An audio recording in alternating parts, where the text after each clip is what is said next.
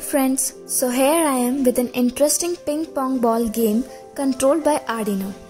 As you know the basic rule of ping pong, what's different in this is hitting the ball digitally with paddles controlled by push buttons for up and down movement. Points are scored for hitting the ball and if missed, game is over. And one with the highest score wins the game. So guys, this play is fast and demands quick reactions. So, isn't it interesting with Arduino, the ping pong ball game? Here is a circuit with LCD display which displays the ping pong ball on the LCD with a potentiometer which contrasts the LCD and two push buttons for each player for the movement up and down. I have used piezoelectric sound crystal for making it more interesting by giving background sounds.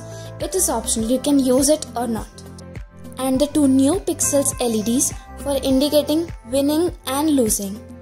So let's simulate. So the LCD is on with a ping pong ball game and by clicking the start button it gives us information of two players and by a count on 3 to 1 the game starts. So there are two pedals player 1 has on left and player 2 has on right. The scores are displayed on rows for 1 and 2. Spinning the ball alters its trajectory and limits an opponent's options, giving the hitter a greater advantage.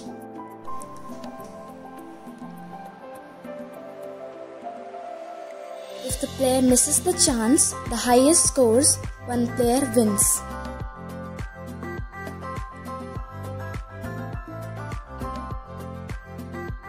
So here the player 2 wins. This is ping pong ball game.